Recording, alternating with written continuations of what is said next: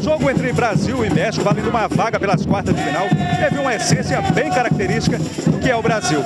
Juntou samba, futebol e no final, com o resultado do placar, muita diversão. Com muita animação, muita alegria e muita energia positiva. Por isso eu estou dizendo, o Brasil vai ganhar essa. Estou confiando na seleção e vamos em busca do ex.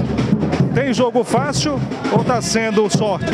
Não, não, está sendo, tá sendo complicado. Está dando muita zebra nessa Copa e espero que a gente vá longe, né? Brasileiro é gingado, meu compadre. É samba e futebol. Vamos embora, garoto.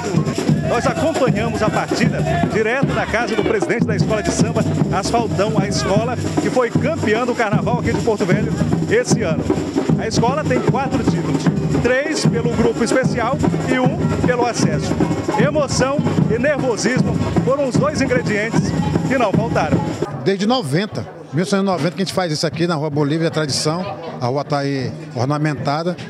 E todos os jogos, a maioria das pessoas do bairro, e inclusive de outros bairros, vem para cá para assistir o jogo e torcer pelo Brasil por aqui. Hoje, por conta do jogo, o governo do estado e a prefeitura de Porto Velho deram um ponto facultativo. Mas amanhã a vida continua.